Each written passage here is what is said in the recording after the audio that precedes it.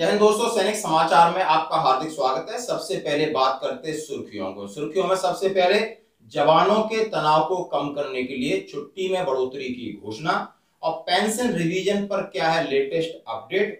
पूर्व सैनिक और डिपेंडेंट्स के लिए एक महत्वपूर्ण और अच्छी खबर 22 फरवरी 2019 से एरियर के साथ बढ़ा हुआ भत्ता मिलेगा। खबरें देखते विस्तार से। सबसे पहले बात करते जवानों के तनाव को कम करने के लिए। दोस्तों, आपने देखा होगा बहुत से जवान, चाहे वो आर्मी के अंदर है, चाहे पैरामिलिट्री फोर्स के अंदर है, खासकर उनको देखा गया है कि आपसी झगड़ा, झंझट, बहुत सारे ऐसे इंसिडेंट देखे कि जिनका नाम लेना भी सही नहीं लगता। आपने देखा है कितने लोगों ने अपनी जान की बलि दी है। दोस्तों, बात करते हैं, इसी संदर्भ में देखा गया कि उनको ज़्यादा काम है और छुट्टी का न मिलना। तो ये डिसाइड हुआ, अगले महीने से उनको एक खुशखबरी मिलने वाली है जो उन्हें छुट्टी पचहत्तर दिन की मिलती थी, अब वो सौ दिन की मिलेगी। और ये गृह मंत्रालय ने इसका बस आदेश बाकी है, बाकी सारी चीज़ें हो चुकी हैं। और ये अगले महीने से इंप्लीमेंट भी होगा दोस्तों। बड़ी खबर की बात करते हैं पेंशन रिवीजन पर लेटेस्ट अपडेट जैसे कि बात चल रही थी ओ टू का जो डिसीज़न वर्डिक्ट आया था सुप्रीम कोर्ट की तरफ़ से, उसके ऊपर 13 अप्रैल 2022 को मेजर जनरल सतवीर सिंह और उनकी टीम ने रिव्यू पिटीशन दायर कर दिया है। अब इस रिव्यू पिटीशन के ऊपर क्या फैसला होता है, ये एक्सेप्ट होगी या नहीं होगी? और होती है तो ये और लंबा खींचेगा, आपको इंतज़ार करना पड़ेगा कम से कम एक से डेढ़ साल तक। यानी ये है इसके ऊपर लेटेस्ट अपडेट अभी तक जो भी इसके संदर्भ में आपको चीज़ें चल रही थी, उस पर लग गया है पूर्ण विराम।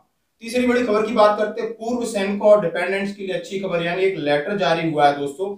आप देख सकते हो, हुआ ईसीएचएस इंटीग्रेटेड हेडक्वार्टर आर्मी की तरफ़ से। इन्होंने दिया है government of India MOD letter number twenty four उसमें हवाला दिया है कि एफएमएस हॉस्पिटल यानी जो आपके मिलिट्री के जितने भी हॉस्पिटल है, चाहे वो एयरफोर्स का है नेवी का आर्मी का, उसके अंदर भूतपूर्व सैनिक भी इलाज करा सकेंगे। उन्होंने देखा है कि स्टेशन आसपास ऐसा ईयर मार्क किया जाए और कितने बेड हैं, यानी उसके बाद उनको सुविधा मिलेगी। Change in procedure of referral of non entitled beneficiary जिसका हेडिंग का नाम दिया ये लेटर 22 अप्रैल को जारी हुआ है। और ये एक तत्काल एक अच्छी सुविधा है, क्योंकि जो पैनल हॉस्पिटल में जाना और वहाँ इलाज कराने के लिए बहुत सारी फॉर्मेलिटीज होती है। ऐसा होता है हम इसका करते हैं। दोस्तों स्वागत। एक और बड़ी खबर जिसमें कहते हैं कि जो आपका भत्ता जिसमें आपने देखा होगा कि जो कल मैंने शाम को वीडियो डाला था उसमें कह, कहा, कहा गया था भत्ता कब से मिलेगा? शायद 22 फरवरी 2019 से एरियर के साथ जो आपका हार्डशिप वाला है रिस्क और हार्डशिप प्लान ये उस दिन से लागू है। उस दिन के बाद यानी जब पुलवामा इंसिडेंट हुआ था, उस दिन के बाद जिसनों भी सर्विस किया, चाहे वो रिटायर हो गए तो उनको पीसीडी पैसा देगा और सर्विस में है तो उनका प्यूआर पूरा पैसा देगा।